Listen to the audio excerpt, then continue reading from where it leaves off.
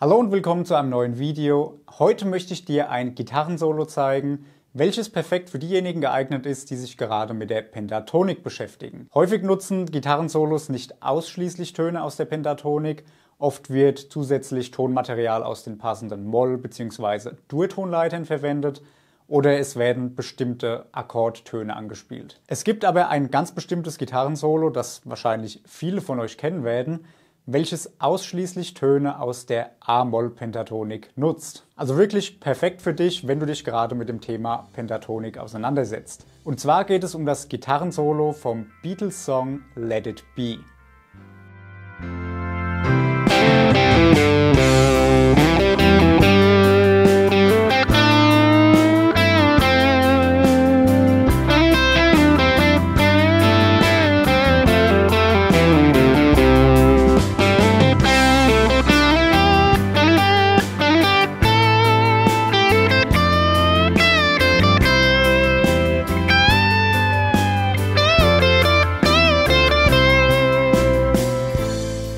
Schauen wir uns dieses Gitarrensolo mal im Detail an.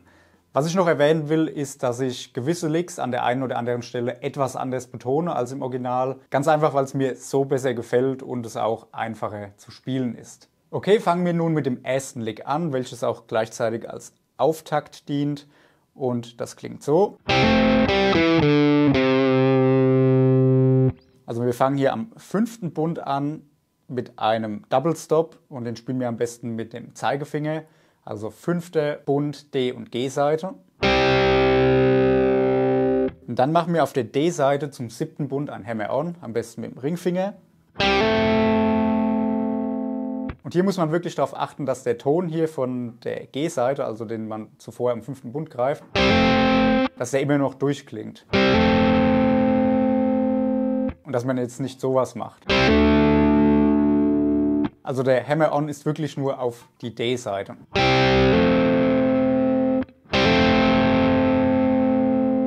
Dann geht es wieder zurück zu dem ersten Double Stop.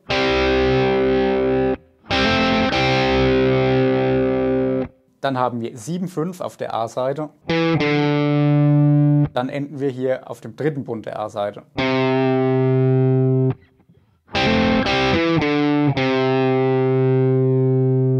Okay, das ist der Auftakt und dann geht es weiter mit diesem Lick. Also ein Slide vom fünften zum siebten Bund auf der A-Seite. Am besten mit dem Ringfinger, weil wir hier mit dem Zeigefinger enden. Dann 5 auf der D-Seite, zweimal. Dann wieder 7 auf der A-Seite und danach wieder 5 auf der D-Seite.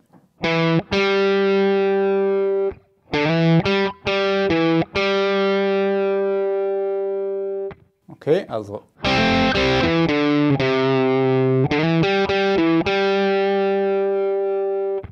Dann Hammer on, fünfte auf den siebten Bund, D-Seite.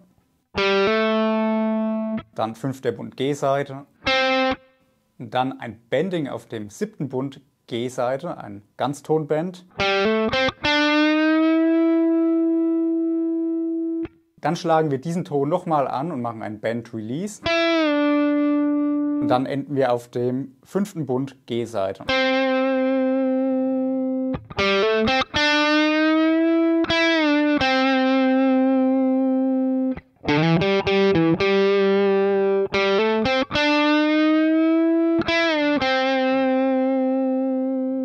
Okay, dann das nächste Lick.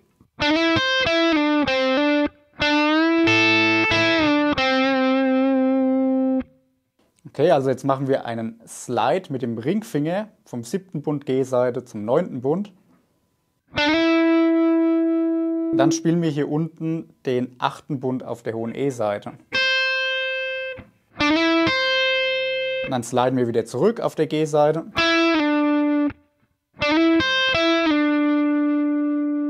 Dann machen wir einen Hammer-On vom fünften auf den siebten Bund der G-Seite.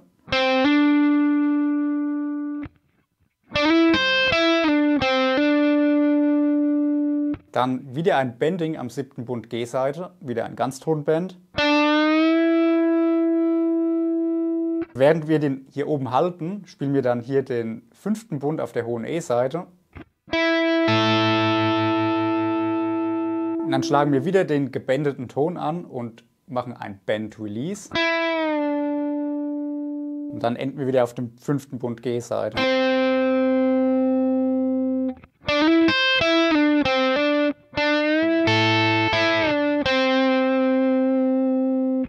Okay, das nächste Lick.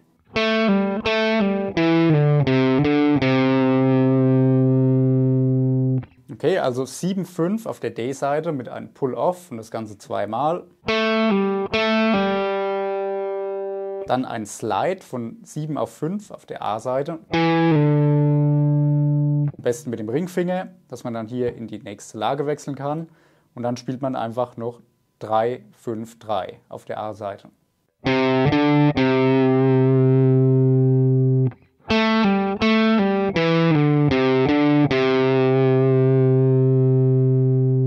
Okay, ich spiele jetzt noch mal das Solo bis hierhin.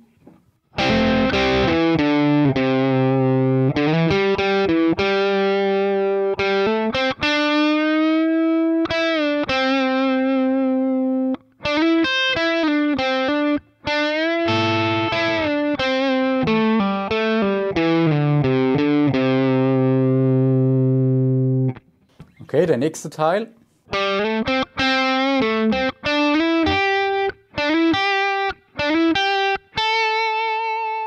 Also wir fangen mit einem Slide vom fünften auf den siebten Bund der D-Seite an. Dann wieder zweimal fünfter Bund G-Seite. Dann nochmal sieben auf der D und wieder zurück zum fünften Bund G-Seite.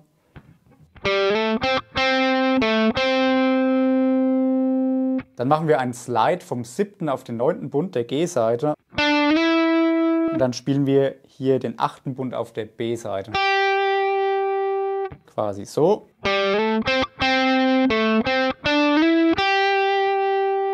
Dann wiederholen wir dieses kleine Lick mit dem Slide zweimal.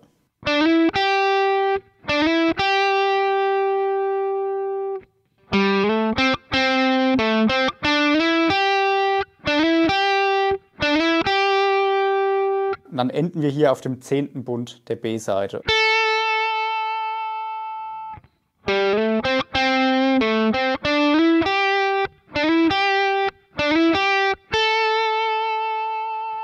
Dann das nächste Lick.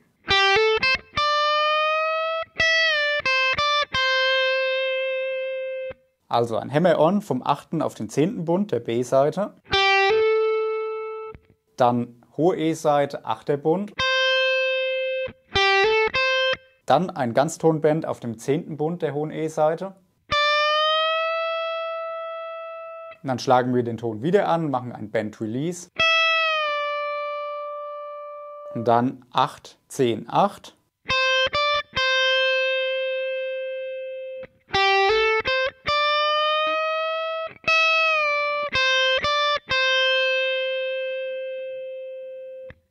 Dann das letzte Lick.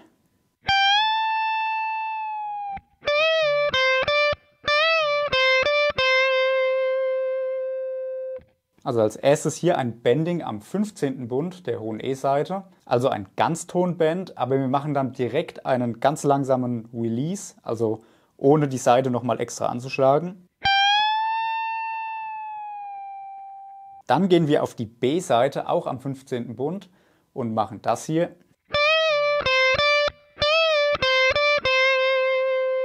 Also ein Bend Release wieder. Ganztonband natürlich. Und dann 13, 15. Und dann nochmal Ganztonband mit Release. Und dann 13, 15, 13. Also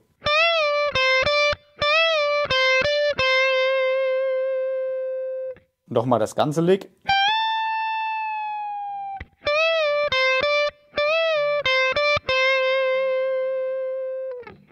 Okay, jetzt nochmal das ganze Solo schön langsam.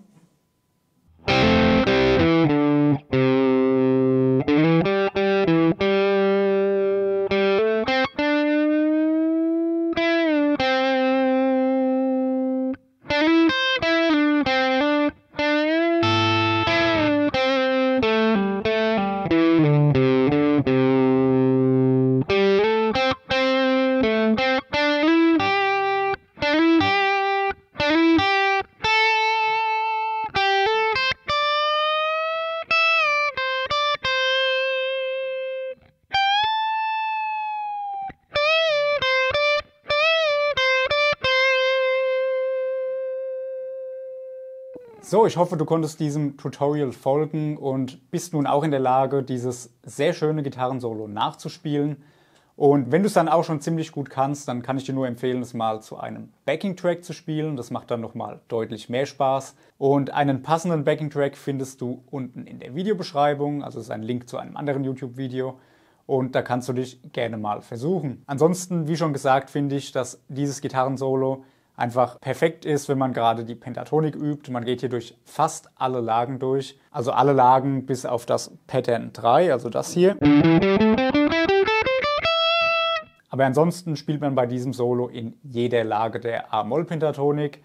Und ich finde das gerade hilfreich, dass man auch so ein bisschen versteht, wie man zwischen Lagen wechselt. Zum Beispiel hier gerade am Anfang. Oder dann dieser Part. Dass man einfach mal so ein paar Ideen auch kriegt, wie man zwischen diesen Lagen ganz einfach wechseln kann. Wenn du noch weitere Fragen hast oder irgendwelche Ideen und Anregungen, dann schreib sie bitte gerne unten in die Kommentare. Und wenn dir dieses Video gefallen hat, würde ich mich sehr über ein Like und ein Abo freuen, falls du neu hier bist. Und wenn du noch Lust hast, dann schau dir doch gerne ein weiteres Video auf meinem Kanal an.